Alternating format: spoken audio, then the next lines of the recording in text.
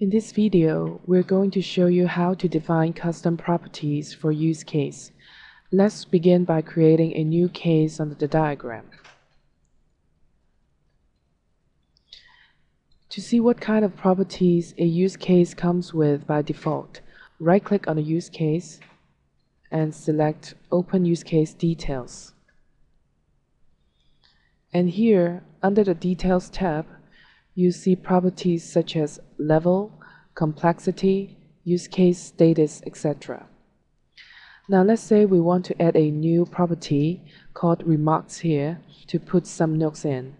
Here's how. First, let's go back to the diagram and then right click on the use case, select stereotypes, and then edit stereotypes. And at the corner here, click on this button, Edit Stereotypes. And on the right, select Use Case, and then click Edit.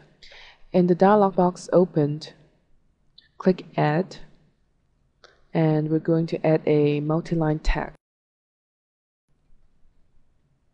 And let's rename the tag to Remarks, and then click OK and then click OK here. And here just click yes to confirm the change. And then click OK. Now let's take a look to see the changes. Right click on the use case again. And then let's check the details. And here you see the remarks field that we've just added.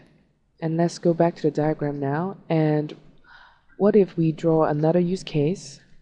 Let's see what happens